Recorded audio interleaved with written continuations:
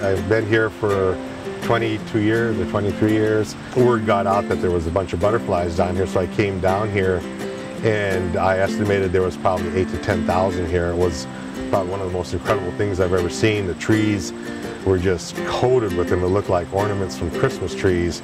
Uh, and it was just not just one or two, but just the whole limbs were sagging. I've worked for the Forest Service uh, for 40 years.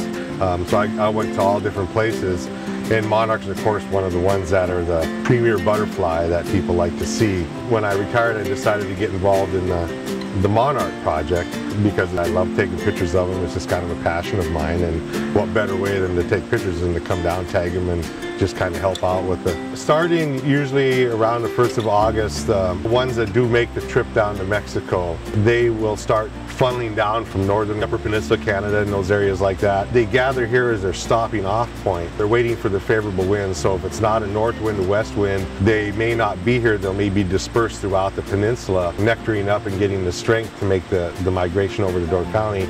The tagging works, um, the project is done with the Hiawatha National Forest here, the Monarch Project. We have little tags and the tags are, you know, maybe about half the size of a thumbtack. We come down here in the morning to tag right when the sun starts to come up because the monarchs aren't fully charged yet to fly around and they're easier to catch. First thing you do is you look at it to see if it's a male or a female. Open the bottom wings up, the hind wings. If there's a black dot on each side, it's a male. If there's no black dot, it's a female. On the, the underside of the hind wing, you put the tag right there and then you let the butterfly go and you record the time that you did it and the tag number and whether it was a male or female. You collect all that data and give it to the Monarch Project and they keep track of it. They'll coat the trees that are all around us here, the cedar trees, and they get the right day when the, the sun comes out, they open their wings up because they are kind of solar powered.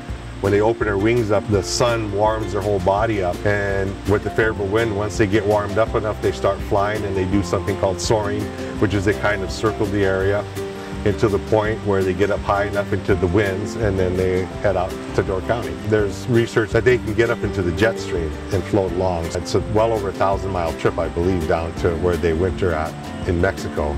Every year there's a new generation. The ones that migrate from here that are migrating right now will make it all the way to Mexico if they're fortunate enough. But the ones that make it back are usually the third, to fourth, maybe even the fifth generation. Probably the best thing that will help the butterflies is making sure there's a lot of milkweed because that is the only plant that the caterpillars raise on. Without milkweed, there's no monarchs. it, it's, it's fun. You know, you get excited about, you're always waiting to have that one big migration moment that seems to come once a year when I'm scheduled to tag and just hoping that I just see the trees coated with it.